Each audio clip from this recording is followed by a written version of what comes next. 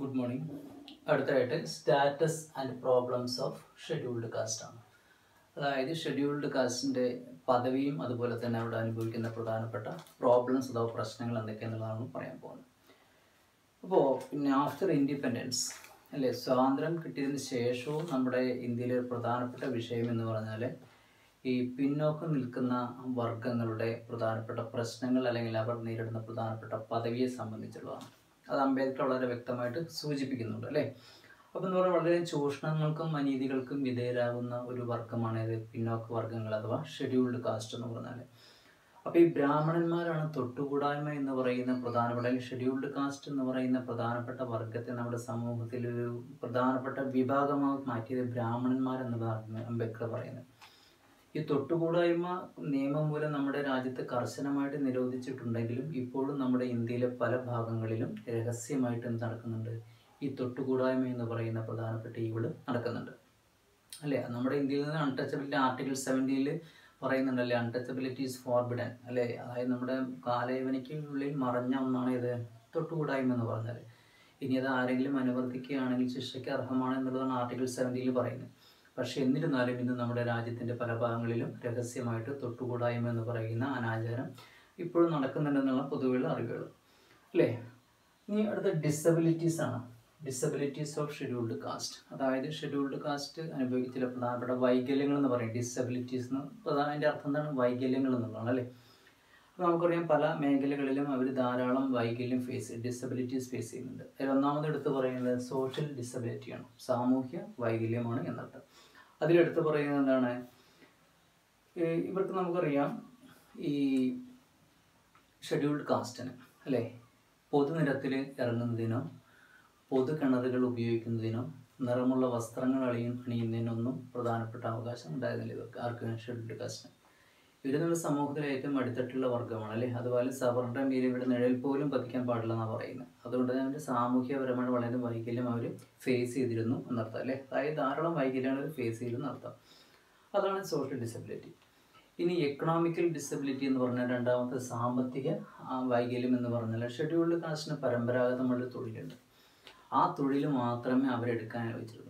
വേറെ സാമ്പത്തിക സ്രോതസ്സിനെ കുറിച്ച് അല്ലെങ്കിൽ പുതിയൊരു സാമ്പത്തിക പിന്നെ നേട്ടം ഉണ്ടാക്കിയെടുക്കുന്നതിന് വേണ്ടി മറ്റൊരു തൊഴിൽ ചെയ്യാനുള്ള പ്രധാനപ്പെട്ട സൗകര്യം ആർക്കുണ്ടായിരുന്നില്ല ഷെഡ്യൂൾ കാശ് ഉണ്ടായിരുന്നില്ല.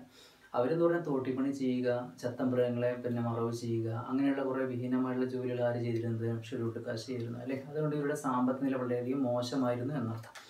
അതിനവർ അനുവദിച്ചിരുന്നില്ല എന്നർത്ഥം. അതാണ് പിന്നെ അവർക്ക് ഭൂമി കൈവശം വയ്ക്കാൻ അനുവാദം ഉണ്ടായിരുന്നില്ല. അങ്ങനെയുള്ള കുറേ വൈകല്യമാണ് എക്കണോമിക്കൽ ഡിസബിലിറ്റീസിൽ വരുന്നത്.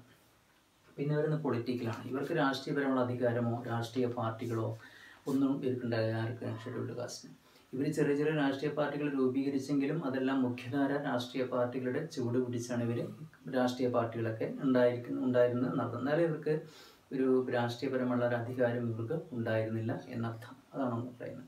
ഇതിൽ വോട്ട് ചെയ്യാനുള്ള അവകാശം പിന്നെ സ്വാതന്ത്ര്യത്തിന് ശേഷമാണ് ഉണ്ടായത്. അല്ലെങ്കിൽ after independence right to vote അല്ലെങ്കിൽ യൂണിവേഴ്സൽ ടു ഫ്രാഞ്ചൈസ് എന്ന് പറയുന്ന പ്രധാനപ്പെട്ട കൺസെപ്റ്റ് ഉണ്ടായത് ഇതിന് ശേഷമാണ് ആഫ്റ്റർ ഇൻഡിപെൻഡൻസ് ഇനി മറ്റൊന്ന് റിലീജിയസ് ആണ്. മതപരമായിട്ടുള്ള വൈകല്യമാണ് അവർ ഫേസ് ചെയ്യുന്നത്. റിലീജിയസ് ഇവർക്കെന്ന് പറഞ്ഞാൽ അമ്പലങ്ങളിൽ പോകുവാനോ പുണ്യ ഗ്രന്ഥങ്ങൾ വായിക്കുന്ന വായിക്കുന്നതിനോ പഠിക്കുന്നതിനോ പുണ്യ നദിയിൽ കുളിക്കുവാനോ ഒന്നും ഇവർക്ക് അനുവാദം ഉണ്ടായിരുന്നില്ല എന്നർത്ഥം.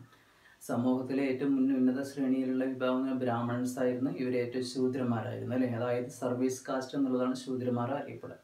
അതുകൊണ്ട് തന്നെ ഇവർക്ക് പിന്നെ താണ ജാതിക്കാർക്ക് അമ്പലങ്ങളിൽ പോകുന്നതിനോ അതുപോലെ തന്നെ പുണ്യനദിയിൽ കുളിക്കുവാനോ മതഗ്രന്ഥങ്ങൾ പഠിക്കുവാനോ ഒന്നിനും അനുവാദം ഉണ്ടായിരുന്നില്ല എന്നർത്ഥം അതാണ് റിലീജിയസ് ഡിസബിലിറ്റീസ് എന്ന് പറഞ്ഞാൽ മറ്റൊന്ന് എഡ്യൂക്കേഷണൽ ഡിസബിലിറ്റീസ് ആണ്. വിദ്യാഭ്യാസപരമായിട്ടുള്ള വൈകല്യമാണ് എഡ്യൂക്കേഷണൽ ഡിസബിലിറ്റി എന്ന് പറഞ്ഞാൽ ഇവർക്ക് സ്കൂളിൽ പോകുവാനോ വിദ്യ അഭ്യസിക്കാൻ വിദ്യ അഭ്യസിക്കുവാനോ ഷെഡ്യൂൾഡ് കാസ്റ്റിന് അനുവാദം ഉണ്ടായിരുന്നില്ല. താണ ജാതിയിലുള്ള കുട്ടികളും ഉയർന്ന ജാതിയിലുള്ള കുട്ടികളും തമ്മിൽ പരസ്പരം സമ്പർക്കം ഉണ്ടാവാൻ പാടുന്നില്ല സമ്പർക്കം ഉണ്ടായാൽ ആ പിന്നെ മറ്റ് അല്ലെങ്കിൽ ഉന്നത കുലത്തിൽപ്പെട്ട കുട്ടികൾ മലിനമായി എന്നിവരെ പറഞ്ഞിരുന്നു അല്ലെ? പൊലൂട്ടഡ് ആയിരുന്നു എന്നിവരെ പറഞ്ഞിരുന്നു എന്നർത്ഥം. അതുകൊണ്ട് തന്നെ ഇവർക്ക് താഴ്ന്ന ജാതിക്കാരെന്ന് പറഞ്ഞാൽ ഏറിയ പങ്കും നിരക്ഷരൻ ആയിരുന്നു എന്നർത്ഥം. എഴുതാനും വായിക്കാനും അറിയാത്തൊരു കാരണം ഇവർക്ക് സ്കൂളിൽ പോകാൻ അനുവാദം ഉണ്ടായിരുന്നില്ല അല്ലേ? അതുകൊണ്ട് തന്നെ ഇവർ നിന്ന് പലവിധ പ്രശ്നങ്ങൾ ഫേസ് ചെയ്തിരുന്നു എന്നർത്ഥം. ഇനി കോൺസ്റ്റിറ്റ്യൂഷണൽ പ്രൊവിഷൻസ് ആണ്. ഭരണഘടനാപരമായിട്ടുള്ള നടപടികളാണ്. അതായത് ഷെഡ്യൂൾഡ് കാസ്റ്റിനെ ഉയർത്തിക്കൊണ്ടുവരുന്നതിന് വേണ്ടി നമ്മുടെ കോൺസ്റ്റിറ്റ്യൂഷൻ ഭരണഘടന കുറേ കാര്യങ്ങൾ ചെയ്യുന്നുണ്ട്. എന്തൊക്കെയാണ് ആ പ്രധാനപ്പെട്ട കാര്യങ്ങൾ നമുക്ക് നോക്കാം. അത് നമുക്ക് അടുത്ത ക്ലാസ്സിൽ ഡിസ്കസ് ചെയ്യാം. Okay thank